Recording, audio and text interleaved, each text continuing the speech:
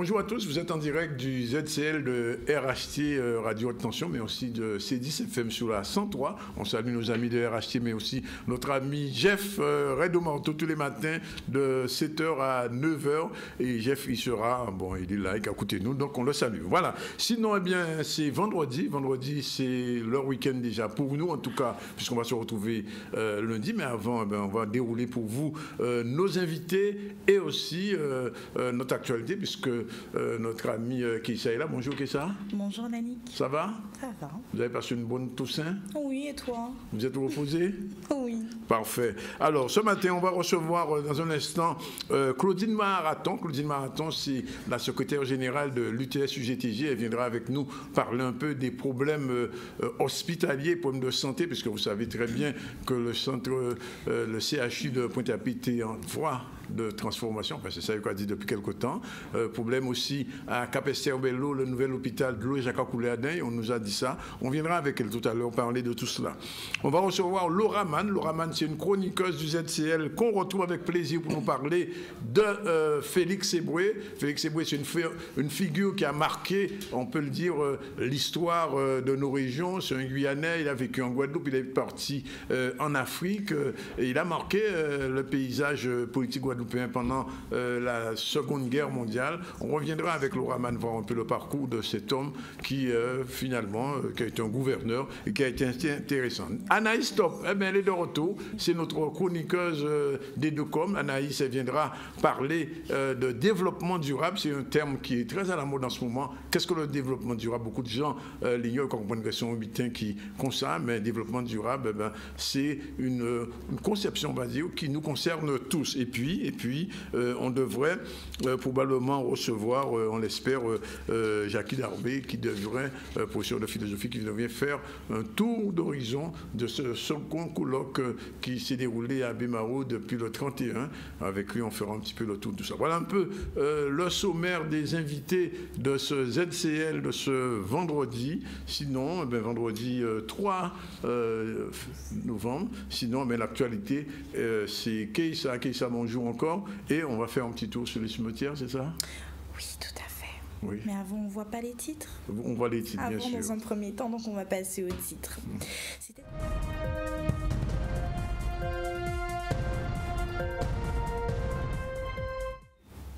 C'était hier à l'église de Petit Canal dans le cadre de la messe de la Toussaint. C'était le moment pour les Canaliens de se remémorer les souvenirs passés, mais aussi l'occasion de célébrer la messe de la Toussaint. Et nous irons à Port-Louis où les gens étaient nombreux à célébrer leur mort. Le moment pour eux de se recueillir, mais aussi de se souvenir de leur passé avec leurs proches qui les ont quittés. Et nous terminerons à Guayave où se célébrait la 11e édition du Léoz pour les défunt. Un moment convivial, rythmé au cas, partagé en famille mais aussi entre amis, toujours afin de pouvoir avoir une pensée pour les proches décédés. Merci euh, Kesha. Effectivement, euh, c'était, euh, on va le dire, la coupure des, de la Toussaint, de la fête des morts. Bien, on va faire avec vous un petit retour sur le cimetière, retour aussi sur, ce moment, sur les messes et toutes les cérémonies religieuses qui ont entouré la Toussaint. Et on commence par un petit canal. Donc oui, c'est en effet, ils étaient nombreux ce mercredi 1er à l'église de Petit Canal dans le cadre de la messe de Toussaint. Comme chaque année, à la même date, c'est le moment pour eux de se souvenir de ceux qui les ont quittés. Mais pas que, car la Toussaint, c'est aussi la fête de tous les saints et pour l'occasion, c'est dans la joie pour la plupart qu'ils viennent célébrer tous les saints. Regardons Jean-Yves Ricorieux face à la caméra d'Olivier Moradel. C'est la fête qui nous permet de nous souvenir de ceux qui nous ont quittés, qui sont avec Dieu, dans la lumière, dans ce qu'on appelle la Jérusalem d'en haut. Et c'est une fête très ancienne, on va dire une fête très populaire, parce qu'on va se souvenir de, ceux qui nous ont précédés en allant sur les tombes, en allant mettre des fleurs, en allant mettre la lumière. Ils sont avec Dieu dans la lumière et nous, nous apportons la lumière. Alors on vient participer, on vient écouter aussi euh, les évangile qui se résume en un mot. Bienheureux, heureux, c'est les béatitudes. Heureux les pauvres en esprit, heureux les doux, heureux les artisans de paix. Et euh, c'est ce que nous avons chanté dans cette très belle messe ici à, Petit Canal. Je suis très touché d'ailleurs d'être à nouveau à Petit Canal en pensant aussi aux drames qui sont déroulés ici même, mais avec les ténèbres, on va dire, avec le péché, avec la, mort, la souffrance. Mais au-delà de la souffrance et de la mort, il y a pour nous la vie. Et c'est cela que nous venons, euh, nous venons de, célébrer dans la joie de cette fête de tous les saints, qui se poursuit d'ailleurs avec la commémoration des fidèles défunts, une fête qui, euh, c'est plus un souvenir qui nous permet euh, également de prolonger la fête de tous les saints. Tous les saints et les commémorations des fidèles défunts, ce sont les deux fêtes qui se suivent et qui nous rappellent que nous sommes appelés à nous souvenir de ceux qui nous ont quittés, à prier avec eux et à prier pour eux. Et nous sommes appelés à la sainteté, c'est-à-dire à cette vie suivant l'Évangile avec euh, euh, le Christ. Et à Port-Louis, la tradition se perpétue. Ils viennent le plus souvent en famille ou encore accompagnés de leurs conjoints, leurs petits-enfants ou frères et sœurs, illuminer leurs défunts. C'est pour eux l'occasion de se remémorer les moments passés avec leurs proches décédés. C'est un acte qui leur tient à cœur. C'est même comme une habitude pour certains, pour d'autres, c'est une question de croyance. Mais enfin, tous y vont dans le même but, d'illuminer ou encore déposer quelques fleurs. Voyons quelques images avec Michel Terrasse. Je suis venue allumer des bougies pour ma mère, ma grand-mère, mon aïeul, toute la famille, quoi. On est où là chaque année, bon, ben, ça. Selon, c'est une habitude. Enfin, une habitude, je le fais. Mais n'empêche, il y a quand même, euh, je ne dirais pas une croyance, mais il y a quand même quelque part quelque chose qui est de l'ordre de la symbolique. C'est la lumière. Donc, je viens déposer une lumière. Ah ben oui, tous les années, nous avons une de ces traditions-là. nous avons demandé pour une tradition là bâtie. Je suis avec mes enfants, mes petits-enfants, sur euh, la tombe de mon papa, de mon grand-père. Et j'apprends les petits comment ça se passe. Après la vie, c'est la mort. Alors, euh, on est venu illuminer papa parce que pour garder les bons souvenirs. Eh bien, c'est la Toussaint. Je suis venue illuminer mon époux défunt. Euh, mon époux défunt que je suis venue illuminer. Il y a mes parents il y a mon père, il y a ma mère, il y a mes frères, sœurs, euh, mon beau-frère. Enfin, il y a toute la famille dans le cimetière de Port-Louis, étant Port-Louisienne évidemment. Je vois que vous amenez des enfants aussi. Ah oui, je, suis venue avec mes petits-enfants. Je ne marche pas sans eux. Et là, mon petit-fils arrive tout à l'heure. Je ne marche pas sans mes petits-enfants. C'est la fête des morts. On, va, on, est venu justement en souvenir des parents. Hein. Voilà, et ça nous permet aussi de nous retrouver, d'échanger, de discuter avec les autres. Et on va poursuivre l'actualité avec Danick. On va recevoir nos invités. Effectivement, on reçoit aujourd'hui euh, les gens de la santé, l'UTS exactement. Madame Claudine Marathon, bonjour. Bonjour. Et Madame Marie-France Félicie Delan, bonjour. Bonjour. Vous êtes technicienne à l'EFS. Alors, euh, je vous ai fait venir euh, Madame Marathon parce que, semble-t-il, un certain nombre de problèmes se posent en Guadeloupe au niveau de la santé. Alors, on parle beaucoup du transfert de, de, de la construction de nouvelles CHU. Ça traîne beaucoup et de l'autre côté, on a aussi le problème de l'EFS, on est en train de le transférer euh, vers d'autres horizons. Alors, euh, aujourd'hui, Madame Marathon, quelle est la situation de la santé en Guadeloupe, des travailleurs de la santé? Est-ce qu'il y a quoi pour en faire ou est-ce que tout est marché bien?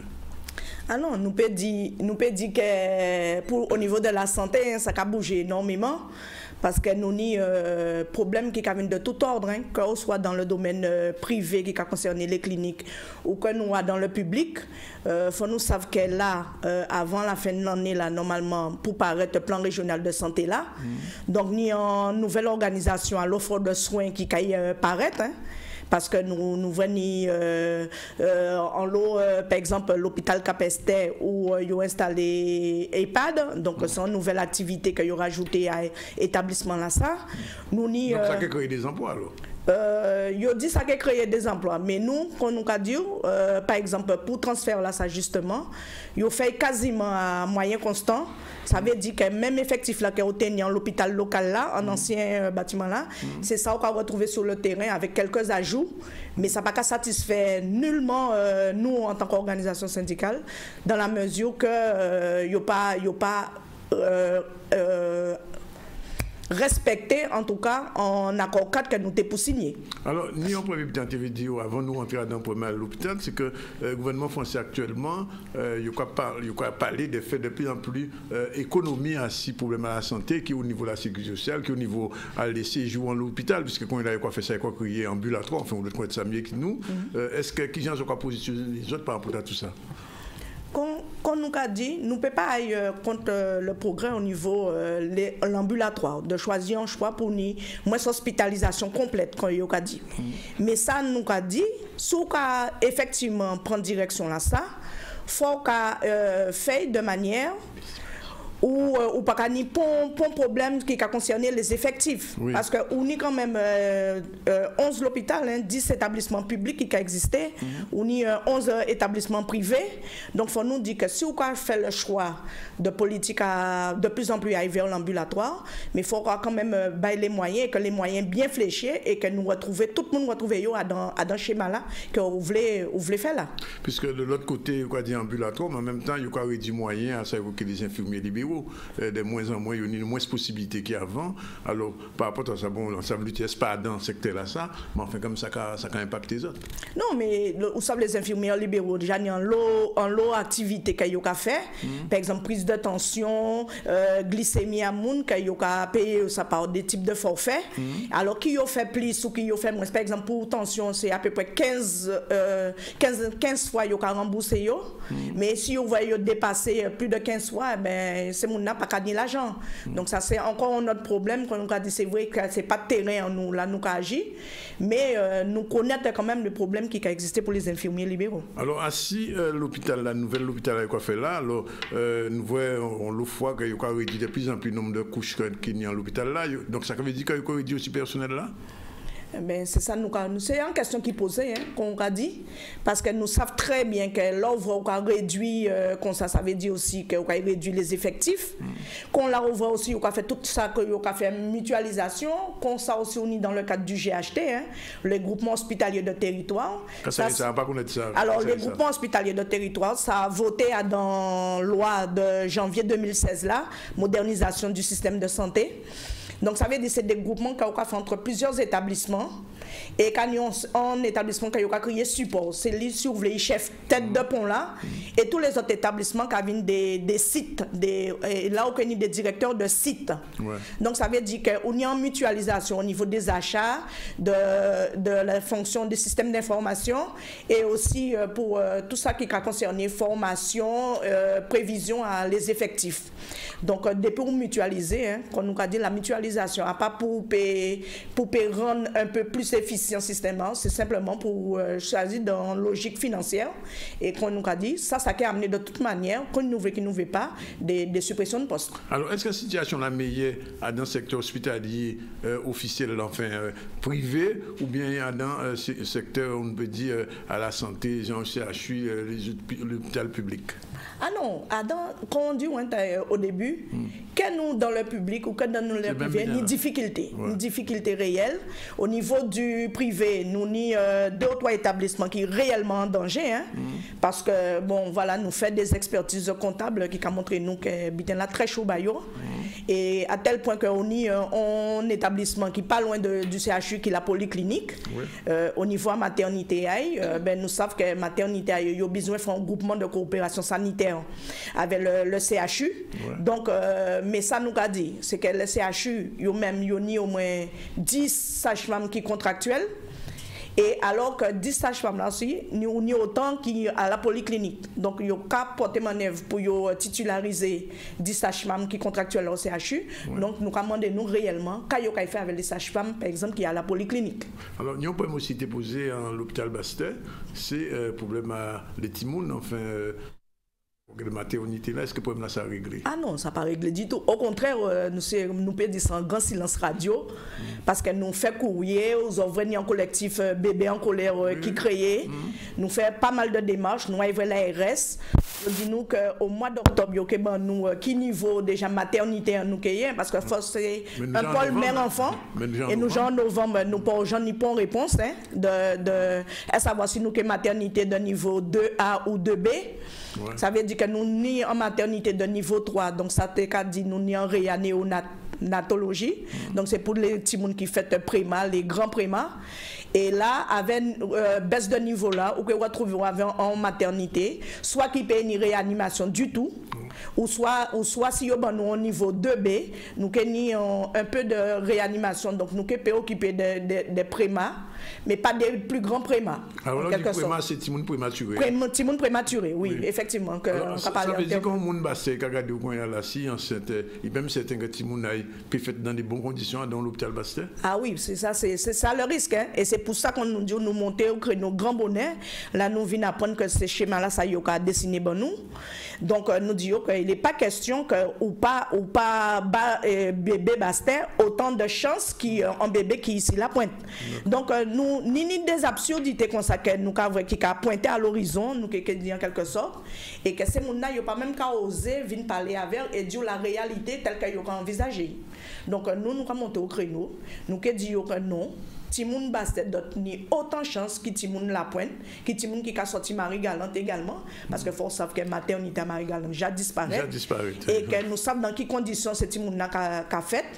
Heureusement, quand même, c'est sage-femme-là qui Marie Galante, bien gourmé aussi, hein, dans tout ça, a fait, qui fait, fait un travail quand même euh, qui très intéressant sur le terrain. Et quand il a dit, c'est avec beaucoup d'abnégation hein, qu'il arrivé à obtenir ça. Parce que pour monde, pas de chance que de, de rester du tout travail si Marie Galante. Et c'est à force qu'il a expliqué le projet à yo, qu'il a vrai que ça, il a proposé la naissance. Et quand nous a dit, c'est dans la lutte qu'il arrive à obtenir ça, qui fait qu'il a quand même pris en charge euh, bébé, dans, enfin, maman là, depuis là, il enceinte jusqu'à temps, il arrivait à terme, puis il a couché, il a couché sur la pointe. Mais nous avons aussi euh, toutes les préventions qu'il a fait pour un, maman qui est enceinte. Alors, avant de nous parler de problèmes à l'effet sévèrement Félicien de l'an, euh, nous avons un dernier problème à vous les autres, savent si ils ont au courant, mais quand ils font ça, c'est pour mettre de l'eau dans l'hôpital, de l'eau là pas bon, hein, l'hôpital là Basté aussi. Vous savez, nous les hôpitaux, hein, quel que soit la nouillée, nous avons même problématique de l'eau qui euh, l'ensemble des communes hein, qui existent en Guadeloupe. Donc Bastin est impacté par le euh, problème de l'eau et qu'a trouvé comme nous aussi nous nous sommes l'hôpital nous aussi Bastin et eh ben nous avons subi les mêmes les mêmes affres que nous avons dit population là a subi. C'est-à-dire que nous demandons une remise aux normes euh, pour tout ça qui est électrique qui de l'eau au niveau de l'hôpital Bastin. Normalement là il resté pour nous 10 millions d'euros pour remise aux normes là ça sécurité électrique, sécurité de l'eau, etc. La qualité de l'eau là, euh, surtout. oui, qualité de l'eau là, mais là, nous, du sécurité de l'eau, c'est tout ça qui caille pour mm. que, soigner les gens dans de bonnes conditions, pour au contraire, pour nous pas ou ramener germes, mais ou développer d'autres maladies. C'est un monde qui a venir pour euh, en, intervention qui simple.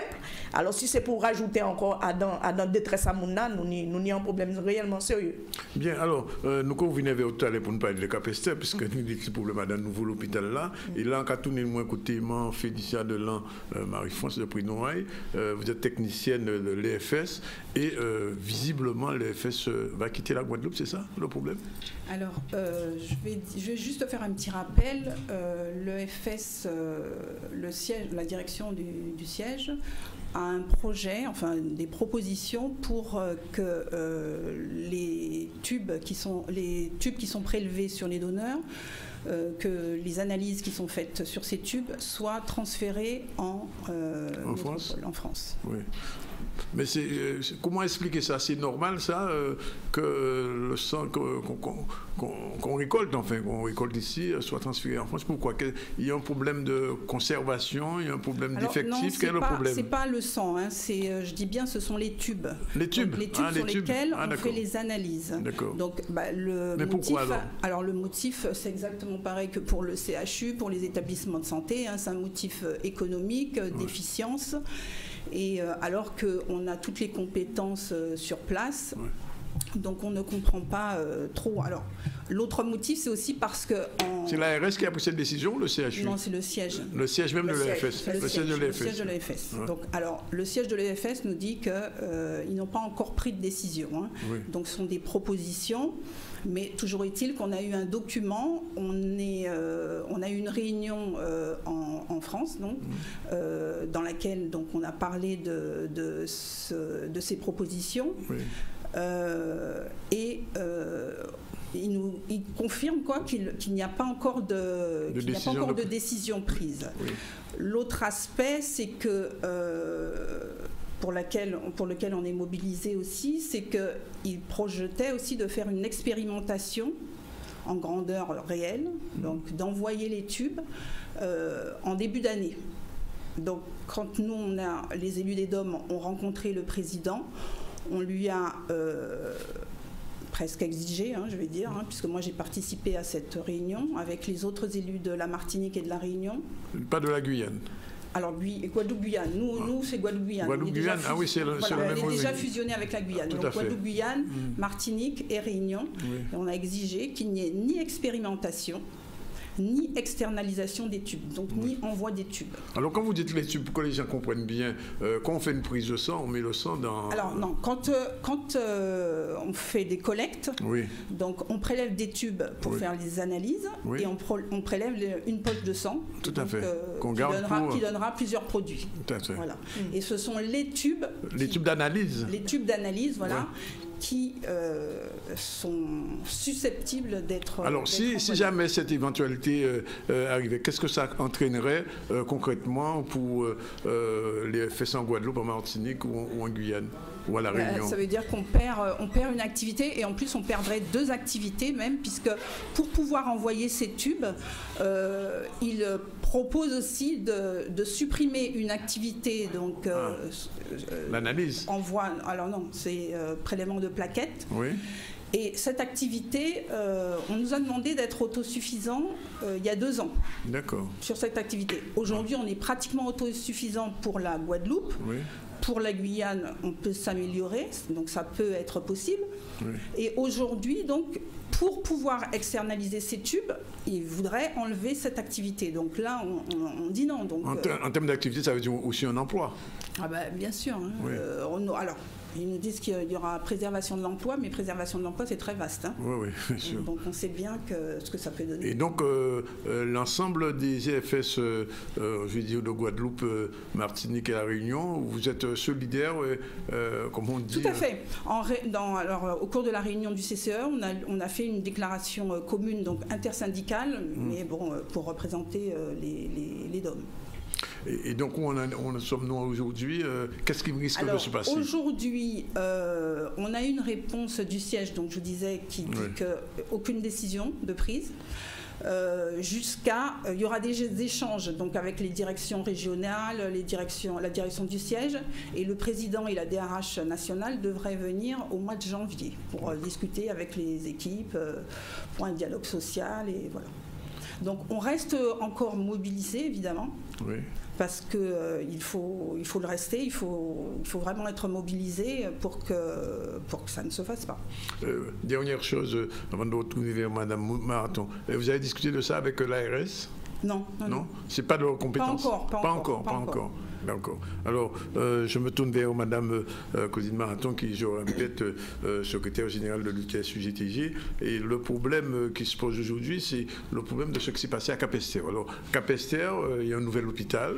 On a vu, il y a eu beaucoup de négociations pour le transfert de l'ancien hôpital, un petit peu délabré, je dis un petit peu, je suis gentil, Mm. vers un nouvel hôpital tout neuf. Et semble-t-il, il y a quand même des problèmes d'infiltration, il y a des problèmes aussi dans ce nouvel hôpital.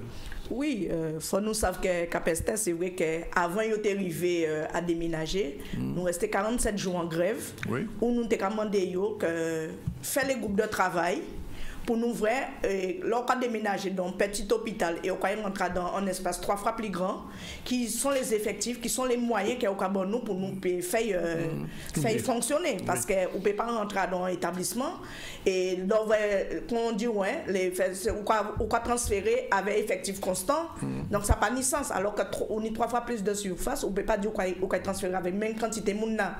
Donc nous demandons de, de faire des groupes de travail afin de nous pour finir toutes euh, ces organisations là qu'on prévoit là pour nous voir si les effectifs payés en souffrance hein, qu'on nous a dit, et euh, pour nous, te fait transfert là. Mais quand nous a dit, yo passé au-dessus, hein, malgré euh, nous pas fait accord cadre là, pour l'instant, il pas fait. Hein. Ah, il pas fait. Il pas fait accord cadre là parce que yo pas fini travail ici, yo pas fini, les groupes de travail pas fini travail. Et yo quand même point, yo fait mais là prendre décision, mais quand prendre décision qu'il y quand même rentré dans les nouveaux bâtiments. Et, et là, nous sommes obligés de faire un référé.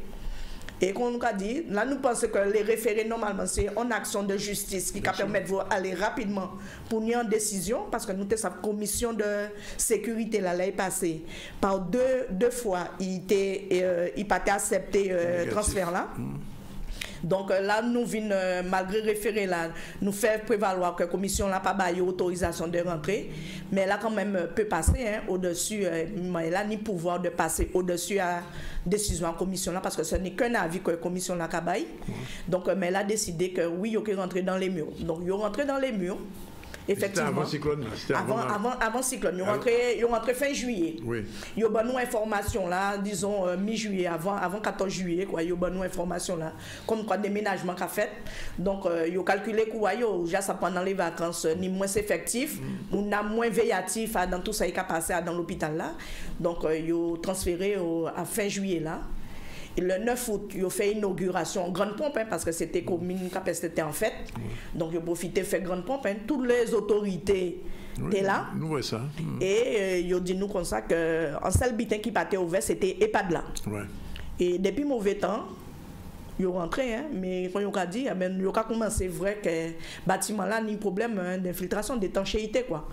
Donc, euh, on voit des butins que peut-être que nous déjà vrai, hein, parce que avant même que mauvais temps est passé, depuis vous tenir en, la plus sérieux, nous déjà vrai que de côté ça a coulé.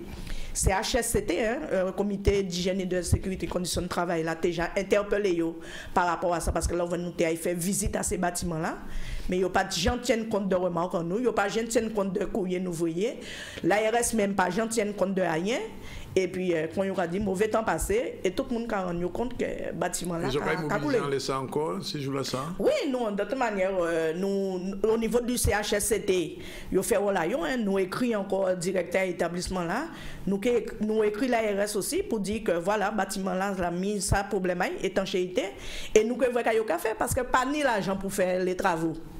Oui. Pas ni l'argent pour faire les travaux, donc nous avons demandé qu'il a fait. Parce qu'en cas de on va rentrer dans l'hôpital là, ça, pour côté humidité là, là on a l'impression que quand on rentre dans une pièce qui fermée, ça fait au moins euh, quelques mois ou quelques années. Donc les conditions de travail sont pas, pas bon actuellement pour eh ces ben, travailleurs. Nous savons qu'on est asthmatique pour respirer l'eau de là, ça, parce que nous savons qu'on a des plafonds genre de, fait comme genre de polystyrène. Ça veut dire ça prend humidité. Ça a dégagé une espèce de, de, de poudre blanchâtre. Et comme on a dit, hein, ça compte à peu près. J'avais fait l'amiante qui a fait des petites infiltrations comme ça. Donc pour tout le monde qui est asthmatique ou qui, tout le monde qui a un problème respiratoire, Est-ce que M. Régent va reconnaître ça à l'équipe Non, mais pour l'instant, on a dit, chaque fois où on écrit un courrier, chaque fois on pose un problème, pour le monde pas parler bas, ouais. Yo ka continuer faire affaires yo. Quand yo ni l'habitude faire l'ARS aussi ka continuer euh, euh, traverser puis faire plan régional. Là un seul but qui est intéressé. C'est de de venir à bout à plan régional de santé là pour euh, décembre 2017 là. Parce qu'elle fait y présenter. Mais c'est un qui ça qui a inquiété yo. Pour gens viennent voir dans quelles conditions malgré les courriers qu'elle nous a fait pas ni récemment quand nous voyons un courrier donc nous attendons de voir si nous réponse facile à ça. Mais quand nous a dit aussi hein, souvent pas bon nous réponse nous allons chercher réponse. Bien sûr alors en cas où vient ce problème à l'FSV euh, mon mon Félicien de dit qui position à autres à l'UTS à six questions là ça puisque bon les affaires ces tubes là vous y aller euh, tout ça qui j'en quoi ça? Non de toute manière quand Dieu nous a position largement hein. Mm. ni bon qualification à don ni bon tube qui qui voyager pour aller en France parce que quand nous avons dit l'EFS, c'est un combat de longue haleine que nous avons mené. Depuis 1998, nous avons toujours essayé de regrouper nous avec soit la Martinique, soit avec la Guyane, ou bien Guadeloupe, Martinique, Guyane. Donc nous toujours opposé nous ça. Nous faisons combat pour nous tenir en établissement de plein exercice. Nous formons monde, nous sommes techniciens, à pas pour dire que jusqu'à maintenant, les qualifications qu'a fait en Guadeloupe, pas ni problème. Nous avons certification en 2000. 2015 là? 2015, nous avons certification. Donc, si nous pas les qualifications qu'il faut, on pas quoi qu'il y ait en certification. Donc, il n'est pas question qu'il y remettre ça en question, comme nous a dit, parce que ni trop, ni trop de monde qui ont chômage en pays là, ça, nous pas envie ni plus encore. Au niveau de l'EFS, ça sûr et certain, nous payons les fait. Euh, Madame Félicie Delan. Oui, je voulais rajouter en fait qu'on a deux objectifs. Alors c'est évidemment euh, ni expérimentation ni externalisation, comme je te disais. Et l'autre objectif aussi, c'est l'autosuffisance. Donc euh, on va devoir faire appel aussi à la population, peut-être à vous aussi en tant que communication, pour expliquer les enjeux de l'autosuffisance dans les DOM. juste un petit mot là-dessus, parce que souvent on se rend compte que, bon, compte tenu du nombre d'accidents, d'opérations, etc., il manque du sang en Guadeloupe. Alors, euh, lancer peut-être un premier appel que faire, euh, euh, devront faire les, citoyens guadeloupéens qui aujourd'hui, aujourd'hui, n'ont pas ni pour massant, mais par exemple, ça arriver au demain. Mm. Alors, il semblerait qu'on a un vivier de 5000 donneurs hein, sur la Guadeloupe. Oui. Donc, potentiel. Potentiel, 5000 donneurs. Oui. Pour être autosuffisant sur la Guadeloupe, il faut à peu près 10 000 dons. Donc le double. Par par année. Par année, oui. 10 000 dons, c'est ce, qui, ce que la France a besoin en un jour. Nous, c'est pour une année. D'accord. Donc il faudrait juste que chaque donneur donne deux fois par an. D'accord c'est possible. ben, monde qui a nous, euh, euh, qui est en bonne santé, eh ben, je n'ai qu'à porter mon aide. Mais euh, je crois que vous faites chaque fois des campagnes. oui, il y a des campagnes régulières. La prochaine, c'est quand? La journée mondiale du sang. bon, ça, faudrait plus voir avec le service prélèvement. mais il y a des campagnes régulièrement, il y a des événementiels. Oui, l'année dernière, j'ai assisté. Il faudrait peut-être développer une, communication aussi, une politique de communication régionale aussi qui soit et on y les dépendances qu'elle a tirées dans, et aussi, qu'elle nous pas autosuffisant aussi. Oui. Parce que ou tenu euh, prélèvement à don qui était fait aussi si Marie Galante désirade les saintes. Ah oui. Ils ont supprimé ça il y a quelques années aussi de ça, hein, vers de, l'année 2006. Donc c'est des, des donneurs, c'est des gens qui étaient capables. Voilà, c'est des gens qui étaient capables, qui étaient augmenter la euh, potentialité là. Et puis finalement, ils ont tiré du jour au lendemain aussi si nous, mm. qui fait que qu'on est là là, le plus on est rapproché de autosuffisance là qu'on y était demandé, et eh bien qu'on est là là, nous on encore fait euh, au moins 3 4 pas en arrière 13h01 en direct dans ZCL et sur RHT et sur aussi euh, CDSFM. Une dernière question pour mon marathon. Euh, nous voyons, euh, un petit moins, puisqu'on s'y mène à nos grandes assemblées avec toute euh, fédération à l'UGTG, toutes les unions locales. Ça veut dire qu'elles sont pas préparées un grand coup, qu'on va dire Oui, mais, vous savez, depuis nous faisons ces genres d'assemblées là, ça, parce que pas ni pour secteur qui c'est la Guadeloupe, qui pas ni problème. On voit dans le commerce, euh, santé, euh, BTP aussi. BTP, euh, pas, pas ni bon secteur actuellement là, en pays là, là qui pas subi. tout ça, les lois qui, qui hein, les ordonnances à Macron, c'est qu'à prévoir et il faut dire que dans tous les secteurs qu'on est là, mon cas licencié, qu'on qu'on continue, hein. Pas ni bon chance que ces travailleurs là retrouver dans ça. Donc, qu'on nous a dit, nous mettons en ordre de marche, qu'on a l'habitude de faire. À partir du moment en autre démarche. Non, non, mais nous, euh, nous, heureusement, nous pouvons suivre M. Lassa parce que, franchement, euh, si nous avons euh, à, éliminer, c'est bien euh, M. Macron qu'on nous a dit, mais nous, nous a dit, nous avons une responsabilité en nous aussi, c'est ça. Parce qu'on ne peut pas dire que ou quoi faire des ordonnances ou des gens qui prévoir un plafond à licenciement, etc. Donc ça permet que nous ne pouvons pas rester sans pas bouger. Parce que celui, celui qui ne se rebelle pas, oui. il pas ni droit aussi plein D'accord, mais maman, on nous merci, dit merci de venir vraiment féliciter de l'an pour parler de problèmes fait ces problèmes à la santé. Nous avons souvent Maïté Hubert, nous avons souvent d'autres monde à l'UGDG, puisque nous avons souvent ici ou Rubens euh, semaine prochaine euh, pour euh, l'UTTP. Après ça, que le bâtiment, nous avons fait le tout petit point en situation sociale là, pourquoi nous savent exactement sa capacité? Exactement 13h et 3 minutes dans le ZCL. C'est l'heure de la page pub, on se retrouve tout à l'heure avec Keisha pour la suite du journal. Ok.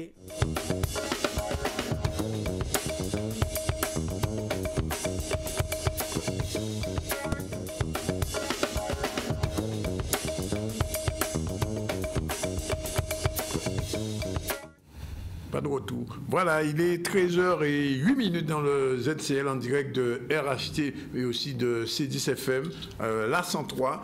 Et nous sommes dans la deuxième partie du ZCL. Normalement, tout à l'heure, on devrait recevoir euh. Laura Mann, c'est notre chroniqueuse euh, historique euh, qui devrait venir nous parler de Félix Eboué. On l'attendra. Et puis un peu plus tard, on devrait recevoir Anaïs Top. Aussi chroniqueuse du ZCL, qui devait venir nous parler de développement urbain. Pour l'heure, nous sommes avec Keïssa. Keïssa qui nous, va nous développer le titre du journal et, on- et nous lancer dans le prochain sujet. Et donc, c'était hier à l'église de Petit Canal, dans le cadre de la messe de la Toussaint. C'était le moment pour les Canaliens de se remémorer les souvenirs passés, mais aussi l'occasion de célébrer la messe de la Toussaint. Et nous irons à Port-Louis où les gens étaient nombreux à venir célébrer leur mort. Le moment pour eux de se recueillir, mais aussi de se souvenir de leurs proches qui les ont quittés. Et nous terminerons à Goyave où se célébrait la 11e édition du Les pour les défunts, un moment convivial rythmé au cas, partagé en famille mais aussi entre amis, toujours afin de pouvoir avoir une pensée pour nos proches décédés. Voilà, eh bien, on va continuer. Donc, euh, après la tournée des cimetières, on va revenir tout simplement euh, avec euh, Keïssa sur le- les roses pour les déf- défunts. C'était donc, Oui, euh, c'était à donc Goyave. hier soir à Goyave. Eut lieu un Léoz en mémoire des défunts. En effet, chaque année et chaque 2 novembre a lieu ce Léoz en leur mémoire depuis maintenant 11 ans. Ils sont fiers de pouvoir tous se réunir chaque année afin de porter un hommage à leur famille, mais aussi à leurs proches qui les ont quittés. Olivier Moradel. Pour se rappeler, euh, Mounanou qui partit, Mounanou qui montait au fil à haut. Donc effectivement, c'est 11e édition là.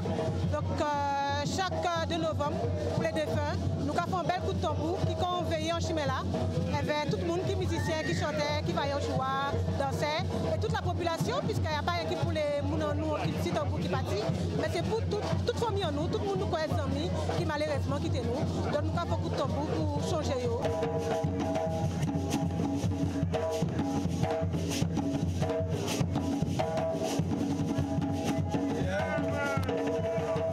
Nous là, on soit là pour fêter les morts.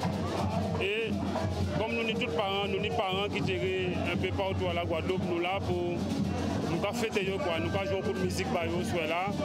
Euh, on a trouvé ça très bien et tout le monde a tradition semblée pour là pour nous par les morts force là.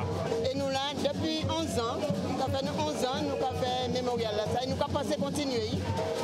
Nous avons pensé continuer le plus longtemps que possible. Donc c'est important qu'on de faire ça chaque année, 11 ans, pour faire cette tradition comme ça. Et que ça a perpétuer, ça le monde qui compte, le monde qui compte. Mais petit à petit, ça va rentrer dans l'histoire de la Guadeloupe.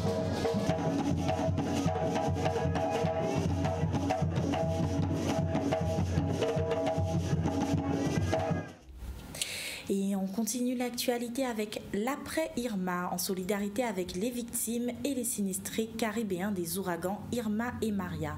Le maire Philippson Francfort informe le public que du 30 novembre au 3 décembre 2017 sera organisée la fête citoyenne et solidaire de Mornalo, en partenariat avec la Coreca.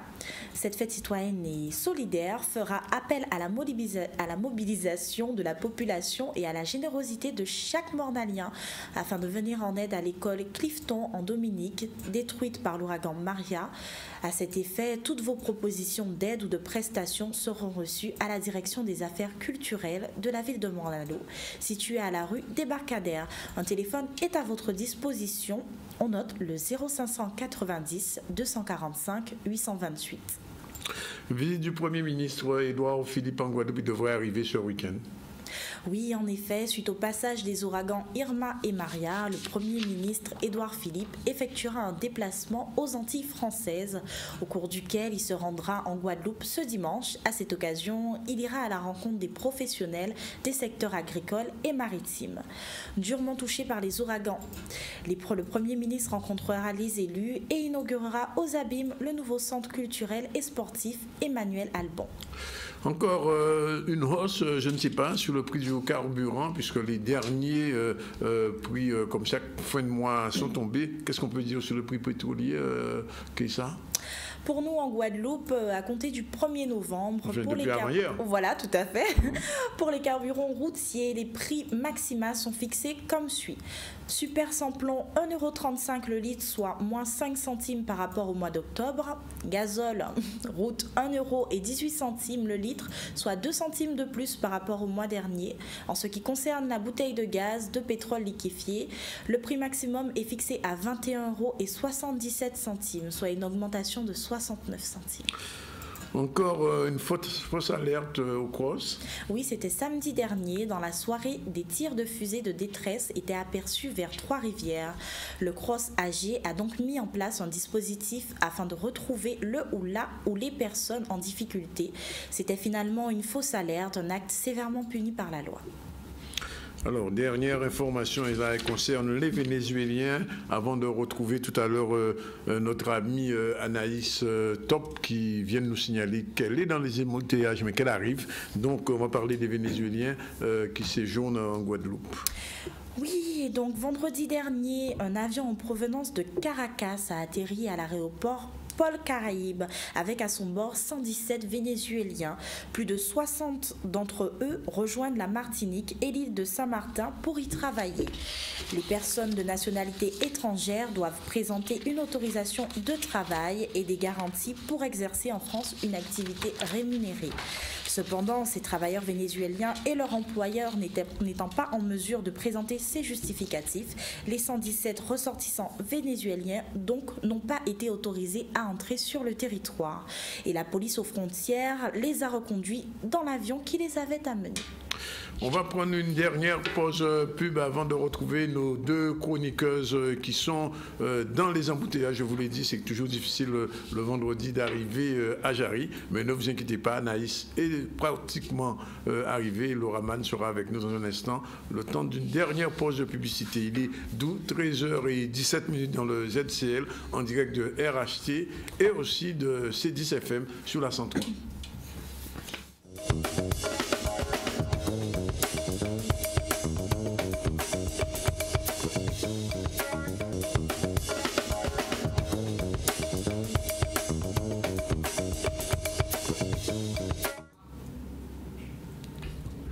Voilà, eh bien, il est 13h exactement et 21 minutes. Je vous l'ai dit, euh, nos chroniqueuses sont bloquées dans les embouteillages de Jarry. Vous savez que Jarry, eh ben, c'est euh, au lendemain d'une reprise d'activité en général, euh, ça se passe très mal. Alors, pour patienter, exceptionnellement, mais nous pas bien fait ça, on va passer un petit son.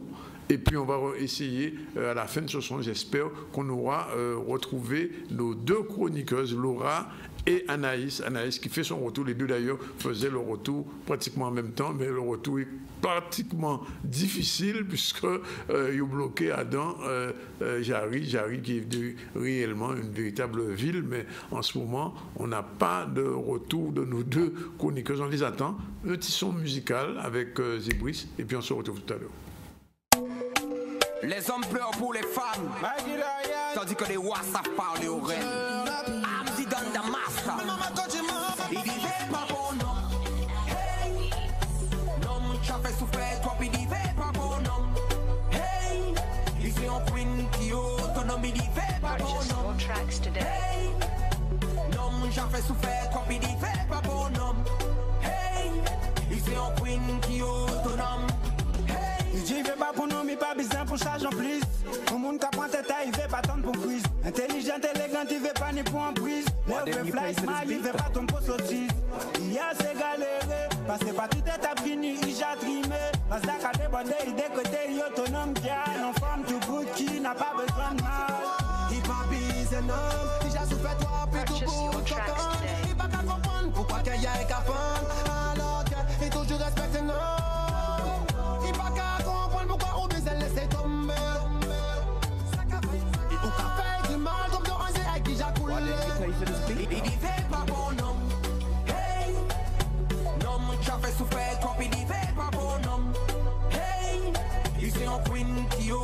autonome, il dit fais pas bon nom.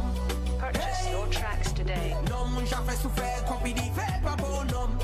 Hey, ici on queen qui est autonome. Hey, Je jette mon nom, dans la danse. Petit pas de danse, elle veut plus, elle a peut plus, elle attend plus. je souffre. Why didn't you play for Jette this mon beat though?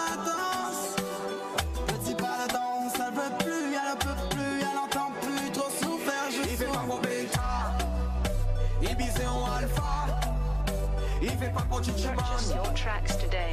en lion, il fait pas pour Bogamon, il pour woman, il fait pas tout ça ouvrir, il a marché des respects. Elle en a marre, déjà trop vu. Elle veut faire confiance, mais si elle avait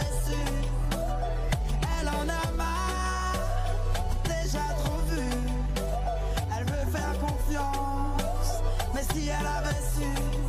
Il pas hey, non mon chat fait souffrir comme il dit fais pas bon homme, hey, il fait un queen qui autonome, il dit fais pas bon homme, hey, non mon chat fait souffrir comme il dit fais pas bon homme, hey, il fait un queen qui autonome, Hotep Impress, Hotep à toutes les femmes qui se respectent. Je sais que vous êtes des queens et que vous désirez des kings. Mais lorsque la vie vous donne un king, il faut rester encore queen. C'est ta beauté qui fait si on te regarde, mais c'est ton comportement qui fait si on te garde. C'est yon à l'autre, et l'autre à yon.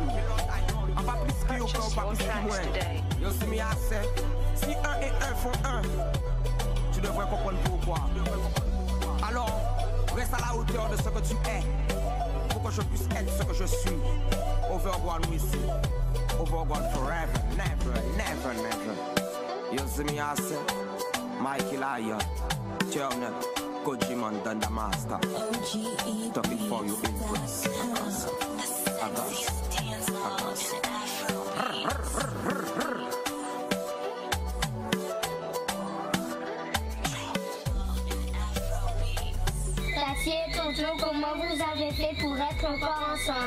Parce que dessus de l'amour, il y a Le respect.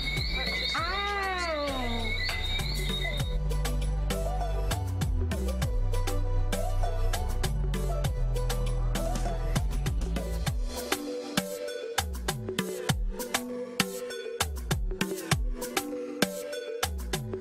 Why didn't you pay for this beat?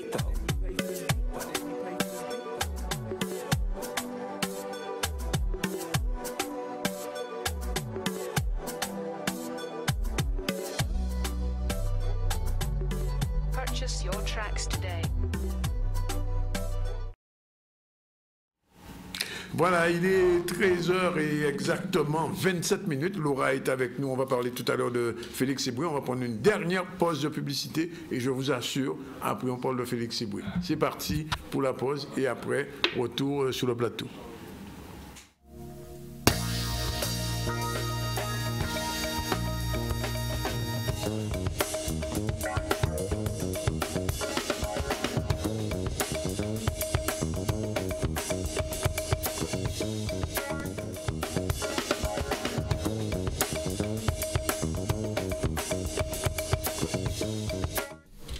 Est 13h32 dans le ZCL et je vous l'ai dit, eh ben, les embouteillages ont quand même pu libérer euh, Laura, Laura Mann qui fait son retour. Bonjour Laura.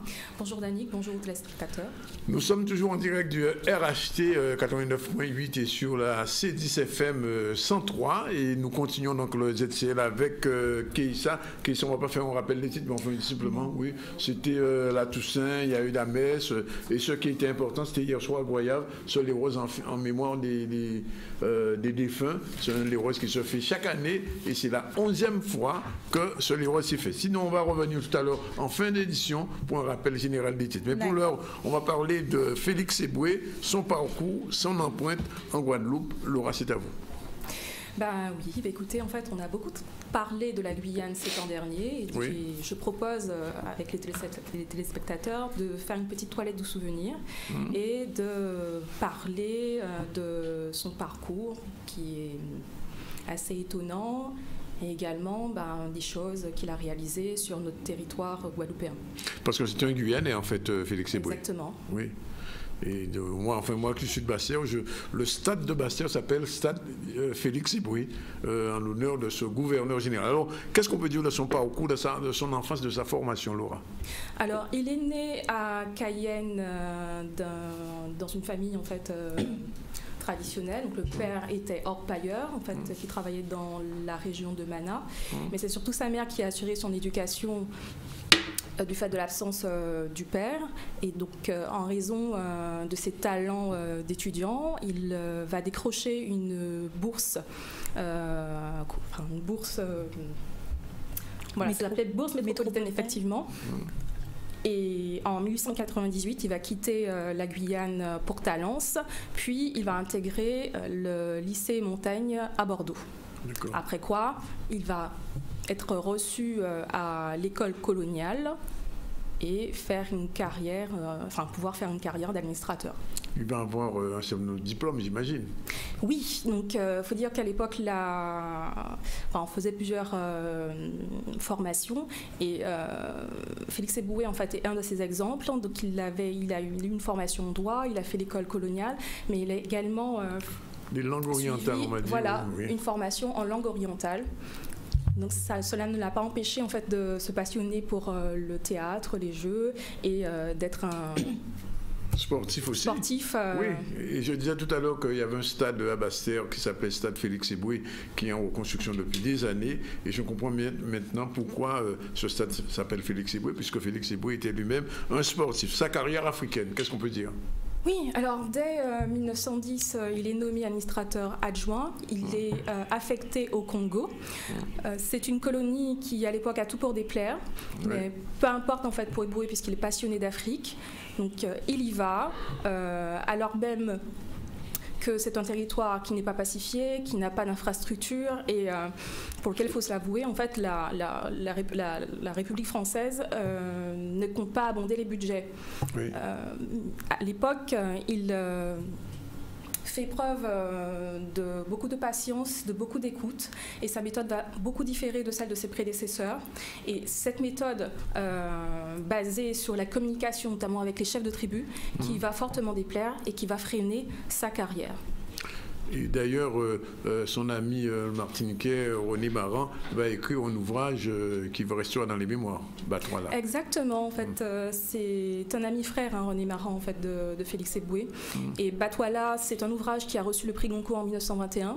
Ouais. Et c'est hum, un point d'étape, puisque euh, Batouala, c'est un, enfin, c'est un réquisitoire, en fait, contre les pratiques euh, Colonial. colonialistes, Oui, voilà. oui. Et euh, donc le fait qu'il cautionne en fait les idées portées par cet ouvrage va également freiner sa carrière. Donc en fait, entre 1910 et euh, 1931, ben, Il sera voilà, en Afrique, 21 il sera- ans, il va oui. rester en Afrique. Oui. Ah, Alors, non, c'est oui. bon. Elle a répondu à ma question. Alors, autre parcours, c'est de 1932, et c'est là que ça nous intéresse directement. De 1932 à 1938, il sera aux Antilles. C'est juste la période de l'avant-seconde guerre mondiale. Exactement. Donc, euh, il va d'abord passer par la Martinique, de 1932 à 1934. Donc, euh, il sera nommé secrétaire général euh, de la, du gouvernement de la Martinique. C'est deux ans durant lesquels il va pouvoir assurer l'intérim du gouverneur titulaire. Oui. Et donc ça va lui permettre de combattre la fraude électorale, ça va lui permettre de faire de la résorption en fait, de l'habitat insalubre, notamment auprès de la rivière Madame en fait, à Fort-de-France. Et il, euh, il va changer en fait, le- les habitudes euh, protocolaires en organisant notamment en fait, une soirée de gala qui va faire scandale et euh, qui... qui, qui va euh, formaliser, en fait, on va dire, un désaccord avec le gouverneur titulaire. Alors, et donc, il va être rappelé. Oui, alors, euh, je note Laura. Alors, je rappelle, si vous prenez euh, l'émission en cours, que nous parlons de Félix Eboué, une figure euh, qui a été très importante dans le paysage politique, on peut le dire, des, des Antilles et de la Guyane, puisqu'il a été affecté en Afrique d'abord, puis il est arrivé en Martinique. Et là, c'est le gouverneur noir, 100%, qui arrive en Guadeloupe. Exactement, donc ce sont les termes d'un article de l'époque, donc 100% noir. Mm. Donc c'est vrai que euh, c'est euh, inédit. hein. Oui, c'était pas fréquent. Euh, Voilà. Tous les gouverneurs, c'était des blancs, il faut le dire. Effectivement, donc c'est un gouverneur euh, par intérim. Donc Oui. il n'est pas encore titulaire, il va titulariser en fait en décembre. Mhm. Et donc dès le départ en fait il met l'accent sur le travail en étroite union, en fait, dans une parfaite communauté d'idées et d'aspirations au développement. Donc c'est quelqu'un qui euh, montre en fait un, attachement en fait assez indéfectible en fait à la mère patrie euh, et donc qui va prendre ses fonctions le 27 euh, octobre 1936. Toujours Et- avant la- on est toujours en avant-guerre, là. hein. On n'est pas encore dans la La on, guerre est, commence. ah, on, est, on est vraiment en fait avant, avant la guerre en fait. de- 36, 3 ans, 3 ans avant la guerre. Voilà, c'est ça. Oui, alors, euh, Félix Eboué est en Guadeloupe, alors quels sont ses projets euh, pour notre pays? Alors ces projets sont nombreux. Euh, c'est vrai qu'il émane euh, quelque part d'un- appareil qui a mis en place un certain nombre de d'œuvres sociales, donc euh, c'est l'époque du Front populaire, donc des congés payés, de la réduction du temps de travail, mais et également en 40 fait, à l'établissement, 40 heures. voilà exactement, donc à 40 heures à l'époque, et de l'établissement des conventions collectives. Donc le son programme va être assez matiné en fait de, euh, de social. Et donc le- le- les champs euh, de- des travaux en fait sont assez vastes. hein. Donc en matière de politique agricole par exemple, il va proposer euh, l'accession à la propriété des masses laborieuses euh, en- par l'institution du Crédit Agricole. Il va euh, mettre en place un programme agraire pour la politique des grands travaux. Il euh, milite en fait pour euh, l'électrification. Il faut dire Oui. qu'à l'époque, en fait, il n'y a que 850 abonnés, donc c'est très Oui. peu. Oh là là. On peut à peine imaginer ça aujourd'hui. hein. C'est ça. Ouais. Donc il va étendre le réseau routier. Il faut dire que pas mal de choses ont été faites euh, après le cyclone de 28. Donc euh, voilà, c'est l'époque du béton armé. euh, D'accord. Ah oui, c'est grâce à où- Alitur. Alitur qui arrive aussi, c'est vrai. On Voilà. reconstruit un peu la Guadeloupe après le cyclone 28, c'est ça? Voilà. Donc il trouve en fait tous ces travaux qui ont été réalisés dans le cadre de la fête du, tri- du tricentenaire, de- du rattachement euh, des Antilles à la France. Et en matière de politique scolaire, par exemple, il euh, promeut euh, des techniques qui sont tout à fait nouvelles, euh, comme par exemple l'utilisation du phonographe. C'est révolutionnaire surtout- pour l'époque, hein, ça. Voilà. Oui. Et surtout, il promeut l'enseignement technique. Donc, Oui. il est de ceux qui pensent que euh, il n'y a pas de honte à, à effectuer un travail manuel. Et il euh, précisait à l'époque que le plus important, en fait, c'était la conscience professionnelle, la probité du labeur et l'orgueil du travail bien fait. Oui. Alors, question sur le, sur le sanitaire, question sensible. De point de vue sanitaire, donc euh, la, la Guadeloupe euh, à l'époque est en poids au paludisme en fait et à la lèpre, donc il va mettre en place des, il va mettre en place euh, des dispensaires, donc Oui. un peu partout.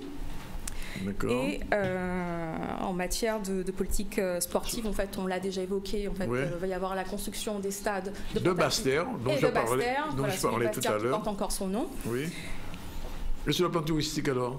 Et sur le plan touristique, c'est tout à fait étonnant en fait pour un homme politique de l'époque de porter euh, la- la- une vision. En fait, c'est une- Ouais. c'est une véritable vision. Il pense que la Guadeloupe peut et doit devenir un des pôles du grand tourisme. Oui. Donc, il va euh, proposer euh, l'aménagement des, sites natu- des sites naturels tels que ceux euh, de Ravinchod, Oui. celui de Dolé, celui euh, de la Soufrière, de manière en fait à en permettre l'accès. Et aussi, il, va, il va proposer le défrichement de la zone euh, qui, de la zone où il y a en fait les, les œuvres précolombiennes. Alors, les œuvres co- co- précolombiennes, il faut en parler, c'est à Trois-Rivières, là où j'habite, bien sûr. Et donc, euh, c'est un endroit où on trouve, bien sûr, le plus de roses gravées. Nice, oui, mais c'est vrai, dans toute la Caraïbe, je suis bien fier de le dire. Alors, euh, en 1937, il s'en- il s'attache à réorganiser l'assistance publique et traiter la problématique d'assainissement des eaux. Et il y a son sa fameuse phrase euh, qu'il lance en octobre 36. Est-ce que vous vous souvenez de cette phrase, euh, Laura? J'imagine que vous parlez de jouer le jeu. Jouer le jeu, voilà. En réalité, jouer le jeu, en fait, c'est le, le titre d'un- discours qu'il a prononcé Oui. euh, lors de la distribution euh, des prix euh, du lycée Carnot, donc qui a Mm. été prononcé le 1er juillet euh, 1937. Et il en fait vraiment en fait un maître mot. Ouais, son leitmotiv, on va dire. Voilà, c'est quelque part en fait son leitmotiv. Il euh, n'en a quelque part en fait que peut faire de euh, des broderies en fait du costume de, de gouverneur. Oui. Et donc il va s'attacher à désamorcer les conflits Donc à l'époque, euh, celui de la Cannes, celui de Docker. Oui. Et euh, il euh, le fait en fait toujours, en, toujours avec le bon mot. Oui. Donc c'est c'est une qualité en fait qu'on lui reconnaît. Donc à l'époque, même si en fait on lui, reproche de pécher par excès de bonté. Alors, je, je cite, moi, euh, euh, pas de mémoire, jouer le jeu, c'est accepter la décision de l'arbitre que vous avez choisi ou que le libre jeu des institutions vous a imposé. C'est la phrase, et d'ailleurs cette expression jouer le jeu est restée dans toutes les mémoires et, et souvent en Guadeloupe euh, on revient à cette, euh, cette ancienne euh, jouer le jeu. Alors 26 juillet 1938, il est rappelé ministre par le ministre? Oui, il va être appelé. Il faut dire que il a un séjour en fait qui est plutôt bref en Oui. Guadeloupe, mais euh, il a quand ans. même euh, Oui. voilà, laissé euh, son empreinte au cours de, de 21 mois. Et il, il va être rappelé tout simplement parce que euh, il est décrié euh, par un certain nombre Par de personnes, notamment en fait Maurice Satino. Bien sûr.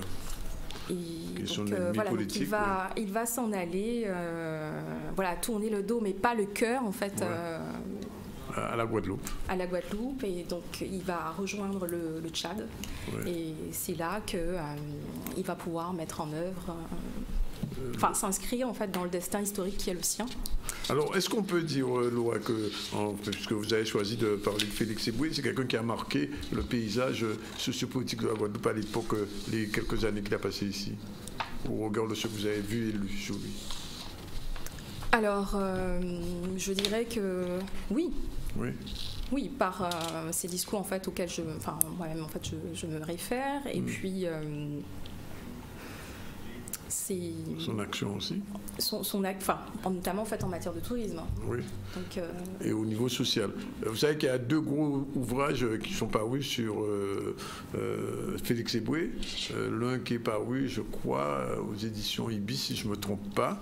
Et je crois un autre récemment encore qui est sorti. Et c'est un personnage, de toute manière, qui a marqué, euh, on va dire, de son empreinte, comme vous l'avez dit, euh, la Guadeloupe. En tout cas, Laura, on vous remercie et euh, on est content de vous revoir, et tout- notamment les téléspectateurs qui vont vous voir et les auditeurs.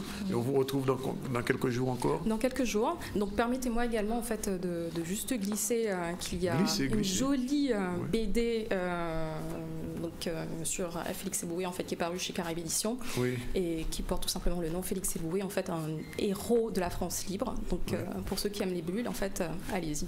Ben, on trouvera souvent cette BD dans, dans le Caribule qui aura lieu dans quelques jours. Merci en tout cas, Laura. Il est 13h46 minutes. On a enfin retrouvé euh, notre amie euh, euh, Anaïs. Bonjour Anaïs. Bonjour Annie. Vous êtes content de revenir quand même avec nous? Très heureuse d'être de retour Ah ben- parmi vous. Rentrée un petit peu tardive, mais euh, mieux vaut On a que compris, jamais. on l'a dit. on- C'était en direct, on a dit que c'était les embouteillages. Laura était dans la même situation. Et Anaïs, si vous êtes là, c'est que vous avez quelque chose à nous dire. Vous parlez de quoi?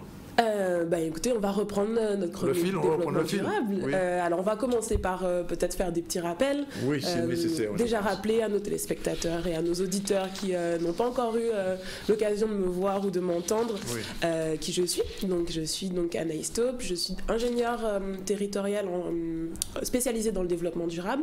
Oui. Et donc, je propose une chronique des deux points com sur le développement durable.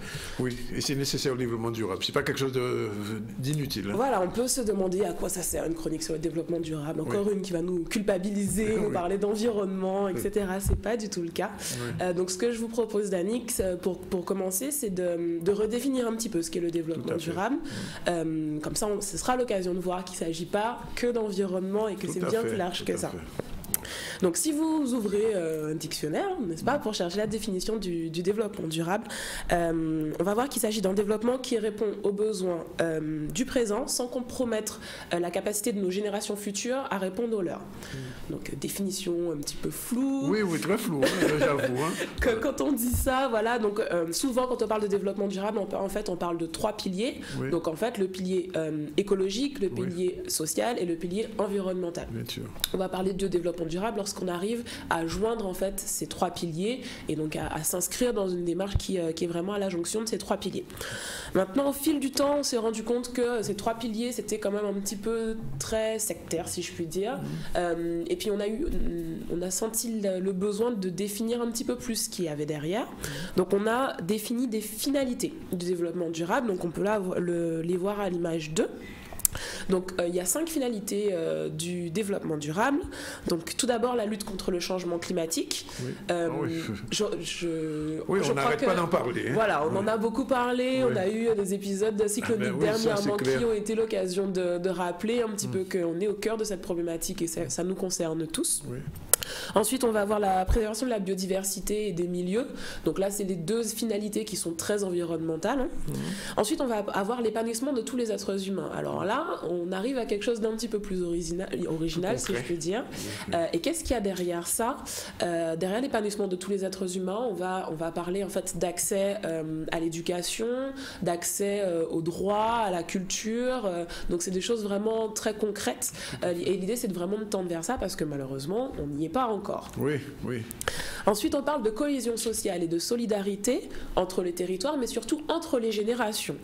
Euh, ça, pour moi, c'est une finalité qui est très importante parce que malheureusement, on se rend compte que euh, même sur des territoires comme le nôtre, où on est encore très ancré dans euh, la famille, des valeurs comme telles que la famille, etc., mais c'est des choses qui se perdent. Oui. Euh, et du coup, Le ben, lien avec les, an- les anciens, il ne faut pas le perdre, hein, Anaïs. ah, ça c'est certain. ça c'est certain. On sait de quoi on parle. Ça c'est certain, ça fait partie, ça fait partie de nous. hein. Euh, donc euh, c'est euh, une finalité qui est, qui est très importante et la cohésion sociale, je pense qu'on on en a besoin quel que soit le territoire. Et enfin des dynamiques de développement, donc jusque là ok, mais selon des, des modes de consommation et de production responsables. Oui, ça c'est autre chose. ça. Voilà, Oui. c'est-à-dire que pendant très longtemps, on a été dans une volonté de développer pour développer, faire du business, faire du chiffre, si je peux m'exprimer ainsi. Pardon. Et l'idée, c'est de se dire que, euh, alors c'est bien de développer, c'est bien effectivement de faire du business, mais de façon durable, d'être plus responsable dans notre façon de développer cette économie. Décidément. Euh, donc voilà, ça c'est les cinq finalités qu'on a, qu'on a définies qui nous permettent de se rendre compte qu'effectivement, derrière les aspects environnementaux, il y a d'autres aspects socio-économiques et responsables. On, voit cette, part de responsabilité qui, euh, qui vient s'introduire en fait dans la définition de ces finalités. Mais alors comment, euh, Anaïs, on peut introduire ça, tout ça en Guadeloupe? Est-ce qu'on est vraiment concerné? Alors c'est vrai qu'on a tendance à se dire, Ouf, le développement durable c'est l'affaire de nos politiques, de nos élus, Euh, il faut que les grandes firmes commencent à arrêter de polluer et nous on verra après. Bah, non, euh, quand on vous parle de cohésion sociale, de lien entre les générations et les territoires par exemple, euh, effectivement il y a des politiques publiques qui doivent être mises en œuvre, mais c'est l'affaire de tous. Lorsqu'on vous parle de dynamique de production et de consommation responsable, Oui. c'est comment dans ma façon de consommer au quotidien, je suis plus responsable. Et aujourd'hui j'ai décidé de vous prendre un exemple. J'aurais pu vous parler des embouteillages, n'est-ce pas Ah mais tiens, mais tiens. Ah ben oui, J'aurais vraiment pu vous d'actualité. parler euh, de changement climatique, mais euh, j'ai décidé de prendre un exemple qui sort un petit peu du commun et auquel on s'attend pas quand on parle de développement durable. Je vais vous parler, fait d'actualité, euh, de, ben, de la fête des morts et de la Toussaint. On en a beaucoup parlé tout à l'heure dans le journal avec Aïssa, alors Voilà, donc on peut se dire, mais c'est quel est le Il y rapport a un lien entre euh, le développement durable et la Toussaint, la fête des morts? Voilà, donc en fait, euh, à l'époque, euh, la fête des morts et la Toussaint, c'était vraiment l'occasion pour toutes les familles de se retrouver au cimetière, de croiser euh, les cousins qu'on rencontre finalement. euh, que- fois par an Voilà, une Oui. fois par an. À cette occasion, en fait, euh, de- de- d'aller chercher papy, mamie et de les emmener aussi au cimetière pour que eux aussi. Enfin, Quand ils peuvent encore se déplacer. quand ils peuvent se déplacer, bien évidemment. Oui. Euh, mais c'était l'occasion aussi pour eux, finalement, de recroiser aussi l'ami qu'ils n'ont jamais l'occasion de voir. Donc c'était vraiment un, lieu de rencontre, l'occasion d'expliquer aux plus jeunes qui était oncle un tel ou tante un tel, euh, et de, de refaire le lien, un petit peu ce lien euh, familial. Euh, et, et finalement, à côté de ça aussi, il y a toute une économie parallèle qui se développait. On a le vendeur de bokit devant, le, devant le cimetière parce que ben, on échange, mais au bout d'un moment, on a faim, on a soif. On a euh, finalement le fleuriste euh, qui, ben, qui est là euh, parce Et que les nettoyeurs les nettoyeurs Ceux de qui vendent les petites bougies aussi. Voilà, les vendeurs de bougies. Donc on voit que finalement, euh, plus qu'une simple fête, c'est devenu. Donc il y a la partie effectivement lien euh, social et lien familial. Euh, et puis à côté, il y a toute cette économie parallèle. Et pourquoi j'ai décidé de vous en parler euh, aujourd'hui? Parce qu'en fait, je me suis rendu compte en allant moi-même donc euh, fêter et célébrer euh, cette année que euh, malheureusement les cimetières sont de plus en plus désertés Ouais. parce que euh, les jeunes générations prennent pas forcément le temps euh, parce qu'on se dit bon bah j'éclaire sur euh, sur mon balcon et puis euh, finalement c'est suffisant. Parce qu'on se dit bof je peux y aller n'importe quand dans l'année. Finalement il n'y a pas qu'à la Toussaint qu'on qu'on doit aller rendre visite n'est-ce pas à nos, à nos défunts. Alors tout ça c'est vrai mais finalement en, en ne respectant plus cette familiale cette pardon cette culture familiale on perd justement ce lien on perd une partie de nos mœurs et on perd le lien et la transmission. On parlait de transmission tout, à, l'heure euh, qui existait euh, à l'époque et finalement ça a aussi un impact sur cette microéconomie qui se développait parce qu'on voit de moins en moins de vendeurs de bokit par exemple s'il y a plus de demande Le pâté de ben, coco, euh, voilà. dans ma région, c'est pâté de coco. hein. donc pâté, coco, vendeur de bokil, ce que vous voulez, mais finalement on en voit de moins en moins parce que la demande est de moins en moins grande. Euh, finalement les vendeurs de, de fleurs aussi qui sont devant, ben, on voit que maintenant ils s'approvisionnent aussi de- en gros et on voit des fleurs de, arriver de, de France. Alors je n'ai rien contre les fleurs de métropole, Oui. mais on- à l'époque c'était les fleurs du jardin de Tout la dame d'à côté et aujourd'hui on a des fleurs de métropole qui vont tenir deux jours, donc ça veut dire que euh, aussi nos, nos- nos défunts seront euh, euh, décorés si je puis dire moins Deux longtemps. ouais. Voilà, donc finalement, c'est toutes ces choses-là qu'on perd. Alors, si on revient sur la définition du développement durable, bien évidemment, si nos enfants ne vont plus à l'église, euh, ça ne va pas euh, altérer le- la- le- leurs besoins, en fait, la façon de pouvoir répondre à leurs besoins, mais euh, j'ai envie de poser la question de comment nos enfants pourront se construire s'ils ne savent pas d'où ils viennent, s'ils n'ont plus cette, euh, cette histoire familiale, s'ils n'ont plus l'occasion de rencontrer ce cousin ou cette tante qu'on voit qu'une fois par an. Euh, donc c'est en ce sens que finalement la Toussaint, la fête des morts, des choses qui sont comme ça ancrées dans nos mœurs et qu'on a tendance à perdre, euh, contribuent finalement au développement durable de notre culture et de notre territoire Et de la transmission. et de la transmission. Voilà, c'est dit. Eh Ben, en tout cas, euh, merci euh, Anaïs d'être revenue et d'être venue sur ces notions euh, justement euh, qui se perdent un peu. Et c'est l'occasion pour nous eh ben, de vous souhaiter bon retour. Merci, ravi Voilà. d'être de retour parmi vous. Eh ben, nous aussi, pareil. On va faire un retour sur l'actualité avec euh, Keïssa pour un retour Avec sur... un petit rappel des titres. Avec un rappel des titres, exactement. Oui, et donc c'était hier à l'église de Petit Canal, dans le cadre de la messe de la Toussaint. C'était le moment pour les Canaliens de se remémorer les souvenirs passés, mais aussi l'occasion de célébrer la messe de la Toussaint. Et nous irons à Port-Louis euh, où les gens étaient nombreux à célébrer leur mort. Le moment pour eux de se recueillir, mais aussi de se souvenir de leurs proches qui les ont quittés.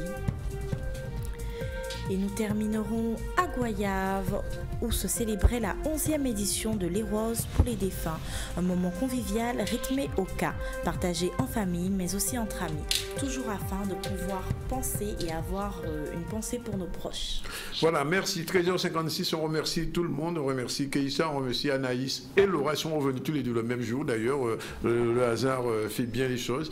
Et bien, le ZCL fait partie du développement durable. Effectivement, avec cette chronique qu'on va retrouver dans peut-être quoi, trois semaines, un mois? Oui, voilà, dans un mois. Dans un mois, on va retrouver euh, Anaïs, on sera content. Donc, voilà, euh, de retour aussi, Zébris qui était parti euh, en congé depuis un mois, ben, il revient. Tout le monde est revenu aujourd'hui et on se porte aussi C'est la bien. grande rentrée. C'est la grande rentrée, c'est voilà, la vraie rentrée du ZCL, c'est bien aujourd'hui. Voilà, c'est fait, pratiquement 14h dans 3 minutes. On se retrouve lundi pour une nouvelle série d'actualités et aussi d'invités en direct de ZCL, de RHC et de C10FM. Voilà, c'est fini, on ferme tout et on vous salue.